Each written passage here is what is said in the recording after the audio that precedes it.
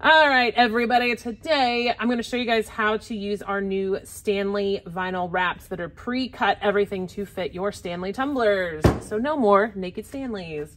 So when you get them, this is how they will have, they'll have the white edge on here. So what I do is take my scissors, cut as close to that line as I can so that I have a nice even line for wrapping it on the handle. And then I do the top line here so that I can make sure I have a nice straight line that lines up with the silver part of the tumbler.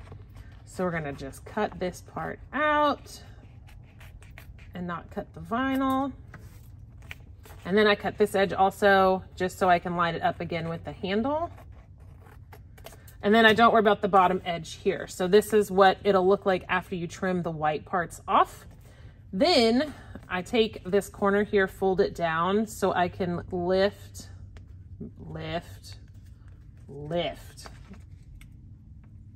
I will get it to lift off the paper. Okay, sorry, technical difficulties. Got it now off the paper, off the backing. Okay, so what you do is just fold this back just a little bit or a lot of it, however you're comfortable.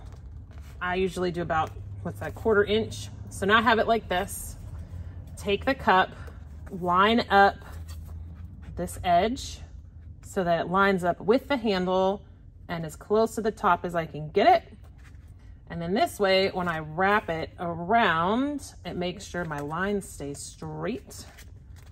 And then once you do that, you take that, just fold it down and then lay that part of the vinyl down. So now it's wrapped on there. Then you just roll it on there like you would any other bit of vinyl.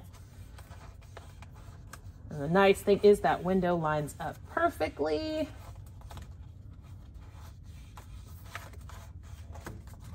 And again, y'all know I don't like those little squeegee things, so I use my hands. And this is a cream colored 30 ounce tumbler. So it really helps that color in the vinyl pop more. But you can also put this on any other color and it'll still show through the color. Now, whatever the base coat is of the cup, of course, will change what the vinyl looks like, which we have some different pictures online for you to see. And I'm a little off here. All right, so that's what it looks like. Now, if you look here, I'm a little off on the handle all you need to do is just take a little X-Acto knife and just trim that little edge piece right there off.